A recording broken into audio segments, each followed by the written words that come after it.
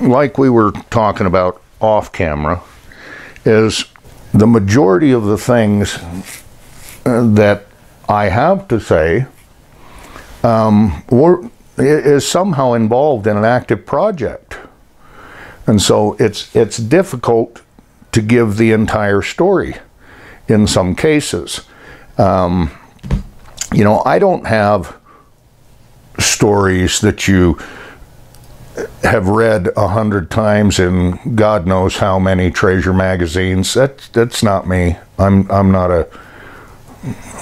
I don't chase stories. Do you remember when I put out the Treasures of Utah book? Mm-hmm. I had people bugging me for a long time to write a book, and I told them, "Well, okay, I'll write a book, but it it isn't going to be the kind of book that you think it is." And it's the same thing with these interviews. You know what you want, and I very rarely give it to you the way you want it. I'm not a treasure hunter, okay? But I did write what everybody would think is a treasure book. And the only reason I wrote it is because early on in this game, I noticed a lot of my friends, whom I care a lot about, um, and and you know the majority of these friends, and I noticed them starting to chase after fantasies and fallacies, Yep. etc. And that kind of bothered me. And so I decided I wanted to write a book that would help these people to be a little bit skeptical. Question everything you look at. Just because somebody found some scribbling on a Quaking aspen doesn't mean it's old. Yep. In fact, when somebody sends me a picture and I see something on a Quaking aspen and it's beautiful white bark, I'm sorry, it's probably not that old. Yep. Um, could it be Jesse James related? Maybe, but unlikely. Um, but that's why I wrote that book, is to try to help people keep their feet planted on the ground, stick with what's real, ask questions, prove all things. And so they buy my book and they find out it hasn't got, you know, a dozen or two maps in the back of it and stories. You know, Johnny Dogood was up hiking in the mountains and found a hole in the ground. And he crawled down into the hole and he found a whole stack of gold bars. But he decided he was going to come back later and get them. And when he tried to go back, he couldn't find it again. That's the typical story that you read in the treasure books. The blizzard. You forgot the. Yeah, oh, the blizzard. Yeah, that's right. There's got to be a blizzard. You know, and the funny thing is, is I actually have a family story that's just like that, I do too. and I know it's a true story. Okay, and and I'll tell it. Okay, uh, because you know what? If if you find this, don't forget me. Okay, all I want is one 80 pound bar. That's it. Okay, you can have you can have the rest. But keep your mouth shut for crying out loud. Okay. I have an ancestor. It was actually my mother's uncle who was down deer hunting in a particular place. I'll leave out the the should I? It's up to you. Oh, what the heck? There's too many of them to worry about, really. There really is. Believe me, people, there is a lot of these out there. My mother's uncle was deer hunting down in Cove Fort, Cove Fort, Utah. And what road he was on, I don't know. There was no freeway. You have to tell some people that. There was no freeway at the time. This is 30s, 40s, maybe. And he went west of Cove Fort hunting deer. I don't know where he parked. I don't know where he walked to. I don't know how far away from Cove Fort he was. But he got out there quite a ways, from what I understand, and didn't have any success in the hunt. He was on his way back to Cove Fort. And he noticed a storm coming in,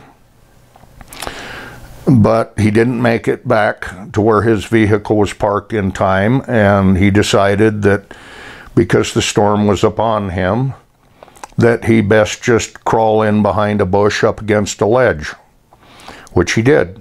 He forced his way back in behind this bush, only to find out there was a small cave there.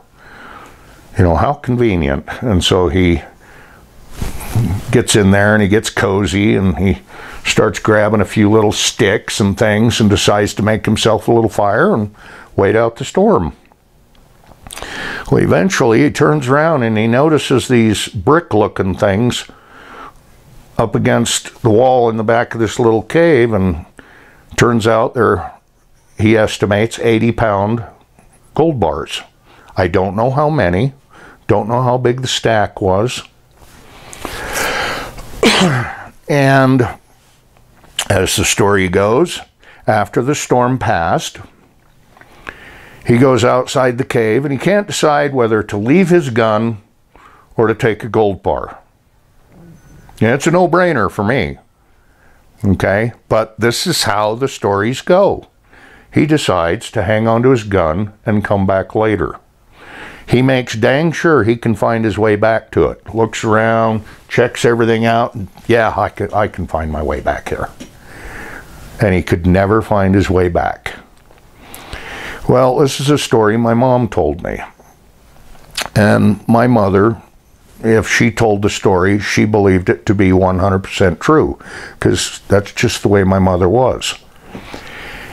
Well, it was years later, I was uh, researching some property over at Utah County Recorder's Office. I can't remember the guy's name. But he asked me what I was doing, and I told him I was trying to find the landowners for certain properties so I could get permission to go on and look for petroglyphs. And uh, we got talking about petroglyphs. Turns out he knew LaVan Martineau, and he told me this story about LaVan Martineau taking him when he was a Cub Scout, Boy Scout, up to a particular place and showed him a panel. And he told the boys, this panel tells where there is a gold cache down east of Cove Fort, west, west, west of Cove Fort, and CTC, west of Cove Fort. The other one was north of the volcano. The other story, north This of the is what volcano. LaVan is telling them. Huh? This is what LaVan is telling these. Yes. Now, I went tried to find that panel. I didn't give it a real good effort. I know where it's supposed to be, but I just never get a chance to go there. Um, I thought that was pretty interesting that from a completely, entirely different source, someone tells me a, a story that ties in with what my mother had told me. Well, many years later, I and a friend of mine were driving down, uh, can't remember what it's called, the canyon. Chalk Creek? No. The canyon that goes from Cove Fort and up over to Richfield, okay? we're driving down the canyon, and just as we caught sight of uh, the Cove Fort area, my buddy points out there and he says, "Do you know there's a cache out there somewhere with 80 pound bars in it?" what? Where'd you hear that? Oh, I heard it from a friend of mine. Um, she's a good friend with the uh, Paiute elders, and they told her about it. And I said, really? so that's three times. Three times. And so I've, you know, I've had a few people go out, and there's certain things you got to do, you know, but I've given you every piece of information that I had on it. And, you know, it just depends on who you are and how much you put into it. But if they're still out there, which they very well could be, um, go look for it. There's an awful lot of ledges out there. north of the volcano, and west of Cove Fort. A lot of ledges. Man, finally got a story out of you. As far as I'm concerned, it's true. Oh, and I forgot to tell you this part of it. Being the meticulous individual that I can be, even though it was my mother who told me the story, I told I asked her one day, and this was not too many years before she passed away. Um, I asked her, I says, I'm, I'm pretty sure your uncle's not alive anymore. And she says, No, he, he passed away a long time ago, but his son's still alive. And I says, uh, Do you have his phone number? And she says, Yeah, I got his phone number. And I says, Why don't I call him and find out what he knew about it? She said, Good idea. So I got him on the phone and uh, I told him that you know, I would like to tell you a story that my mother told me, and I'd like to know what you know about it. And he says, okay. And so I told him the story that my mother had relayed to me, and I says, now, have you, did your dad ever tell you anything about that? He goes, no, he didn't, but this makes perfect sense. And I said, why? He says, you know, when I was just a little kid, my dad used to take us down to Cove Fort every stinking chance he got. And we would go down there and we'd spend a couple days and we'd go back home and we'd come back down a week or two later and spend a couple days and we would walk up and down those ledges. And one day I asked my dad, Dad, what are we looking for? And he said, Son, in one of these ledges, there's a cave. And in that cave is a certain kind of rock. And that's what we're looking for.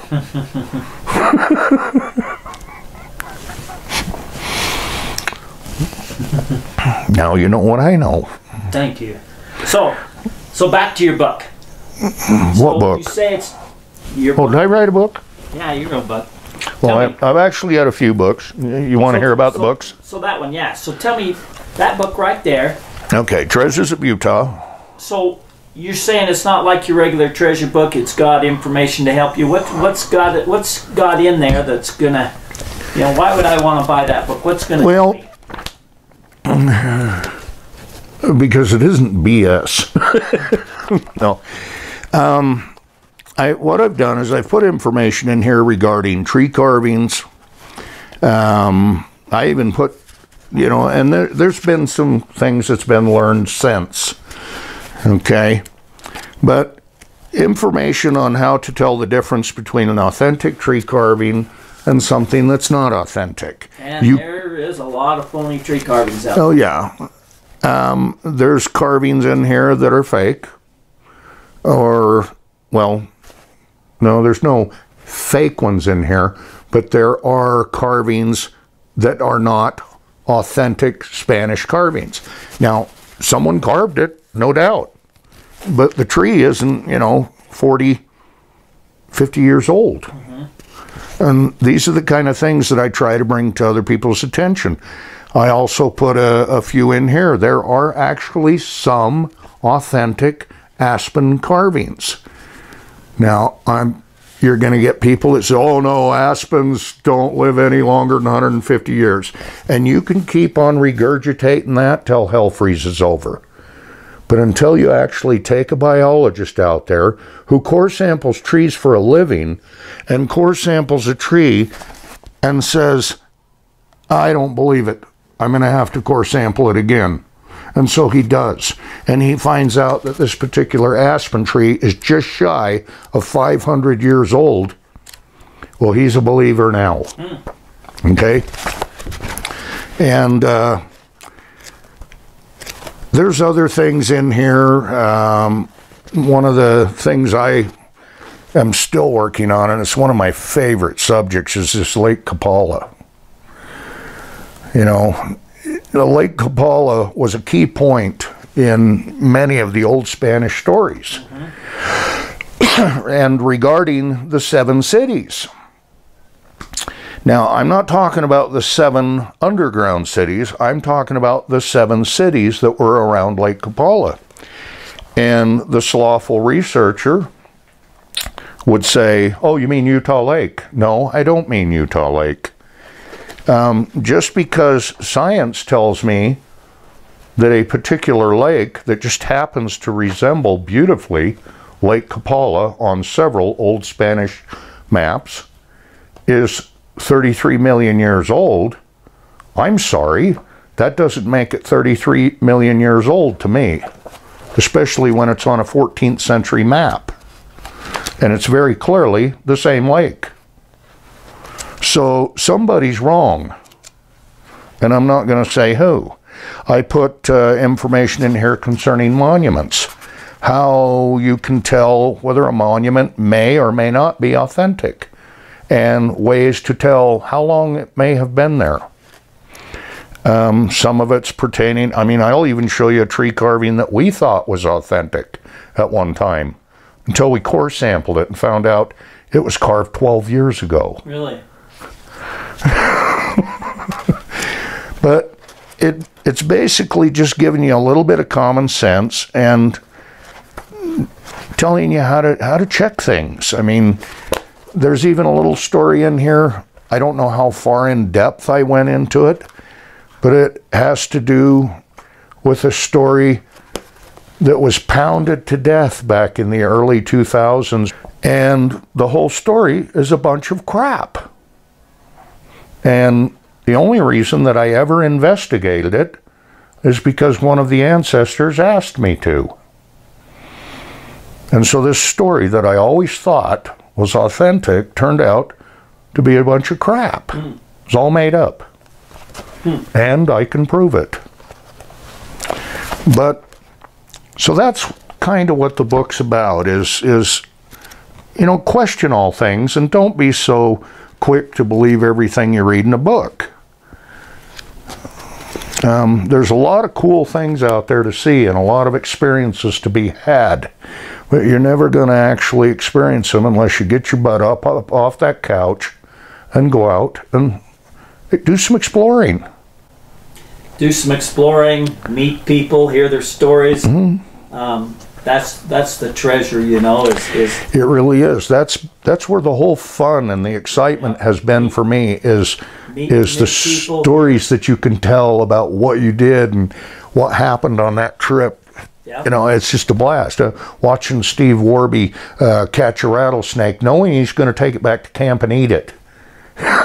you know, watching Steve uh, Warby again, guy's character playing with dynamite, you know, and say, hey, don't touch this right here and don't touch your forehead and this and that and let's just put it back. And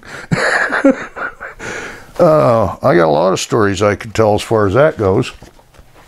Um, but I got another book that um, is almost ready. It's called The Forbidden Histories of the Americas. Yes, it's finally ready. Um, I don't want to send out books anymore. Unfortunately, I've still got about 40 copies of The Treasures of Utah. If you want a copy, send me an email. What's your email? Well, I'll put, I'll put the email in there, but tell me what your email is anyway. The email address that I use most is tuscoro at gmail.com. It is T U S C O R O at gmail.com. Speaking of Tuscoro, tell me about Tes- Tuscoro because I know you've put a lot of information out there on that. Uh, is it a, it's a blog website? Yeah, it's the blog site. There's a lot of information out there, a lot of interesting information out there. Tell me what what made you decide to create that, and thank you for creating that. Okay, but um, I became a member of the Treasures of Utah Forum back when it was ezboard, and then it became. Uh, what did come after that? Um, yeah, I know. Yuku. Yuku. Yuku. Then it became Treasures of Utah via Yuku, and now it's I can't remember what they call it now. But anyway, um, I don't know how I did it, but I gained the trust of the creator of the board, Randy Bradford, whom I'm extremely grateful to and for, and very pleased to call him friend. um, he made me an administrator, and I had a blast with it. It was it was fun, and he told me once that the one of the reasons that he had put me in there as an administrator is because I was a natural diplomat. Eh, hell, at the time, I didn't know what a diplomat was. yeah, yeah. There was there was a lot of little wars going on with a lot of little people. Yes, and, and, and I was one of the one of the people at wars, but he was a diplomat. yeah, I had to put fires out, and I had to restrain myself and and not say what I really wanted to say, and you know, in some ways, it kind of sucked. that, that would have really sucked. That would have really sucked. but you know, and I'm still an administrator in that forum. Uh, I just, I'm sorry, I just don't get in there that much. And one of the main reasons is that everything shifted to social media.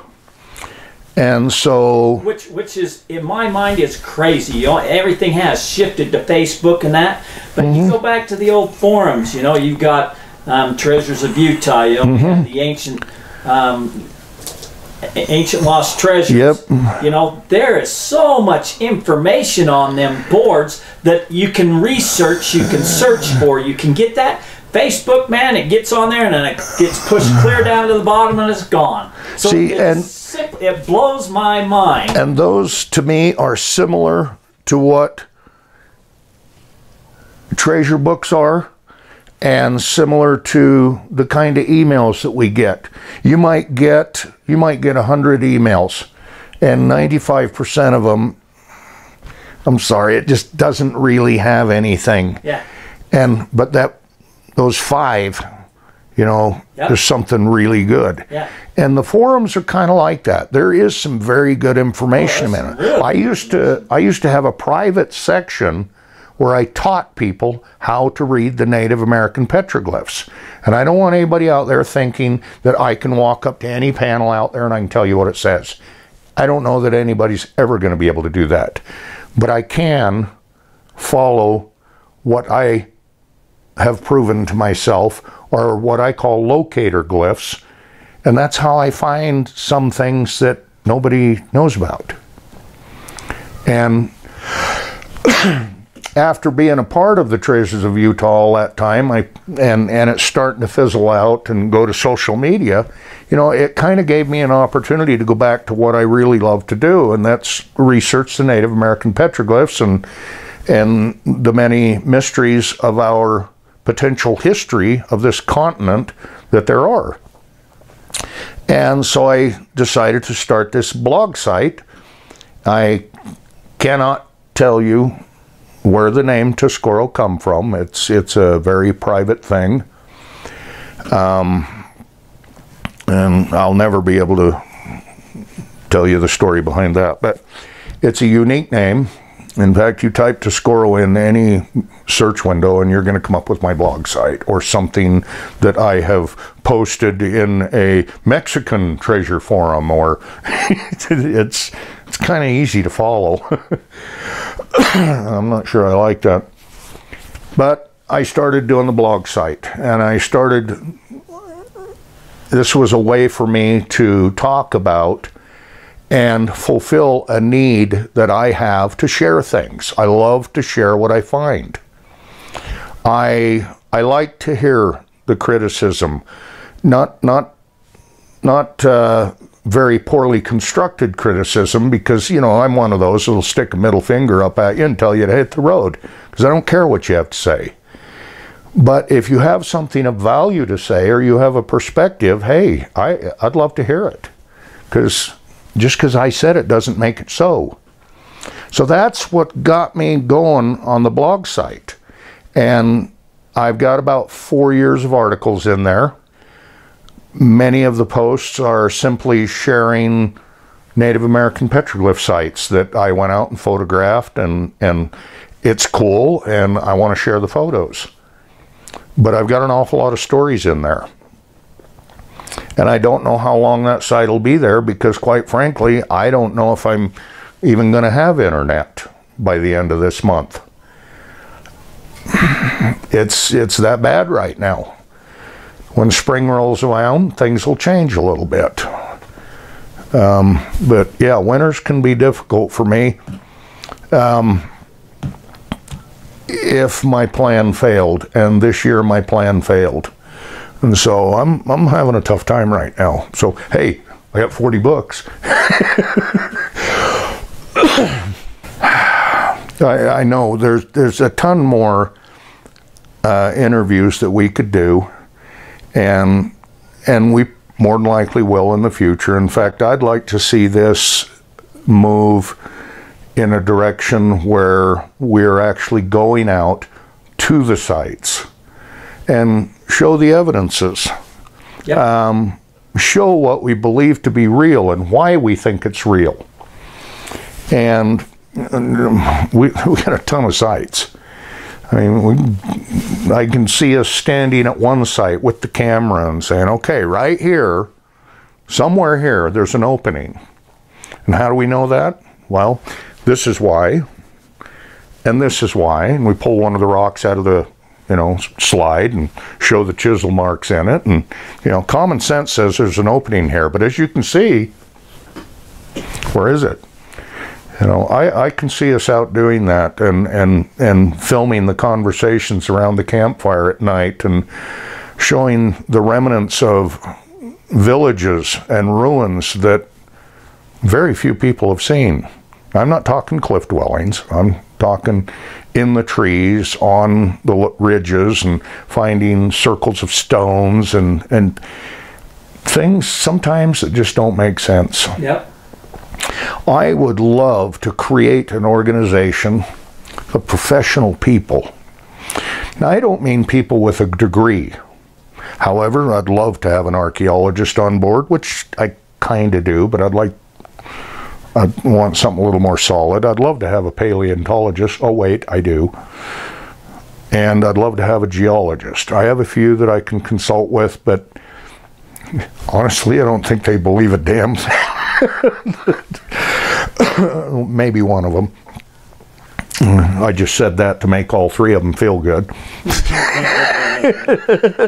well, it's probably me. But thinks I'm worthless. I would love to put together a professional organization of people uh, to document and prove these things. Um, the the biggest battle that we've got is funding. Yep. So we've either got to find somebody who needs tax write-offs because we've got a nonprofit in the working. In fact, you've got a nonprofit yep. for that matter. And somebody who needs tax write-offs or somebody who really doesn't care and has more money than he cares to admit to help fund these projects or we've got to find one of these locations preferably one in Mexico because, quite frankly, it takes a lot of burden off our shoulders having to explain things to a government that believes everything belongs to them. Yep. I'd rather deal with Mexico. So, do I have something more to say? Yeah. Yeah. I'd love to put together a professional group of people. I feel like we have some of those people already. In fact, um, one particular facet of what we have put together over the years, you'll probably never know about. You might, but I, am not going to tell you who they are yep. because you know this is my yep. this is my boots on the ground guy, and he is a no BS kind of individual. And if you ran into him in the street, you'd never know. You'd never know it was him. But he's not afraid to get out there and do what needs to be done. Sometimes he scares me. but I'd love to put together a professional group. That's why I bugged you all these years and uh, hounded Sean Davies for years about getting together on various projects and. You know, it's it's it's the it's the funding, like you said. It's we're all yeah. busy trying to do a living to do what we really have But see, had, Love it. had I come up with these ideas 15 years ago, I could have taken care of it myself. Instead, I left myself vulnerable and someone took advantage of it.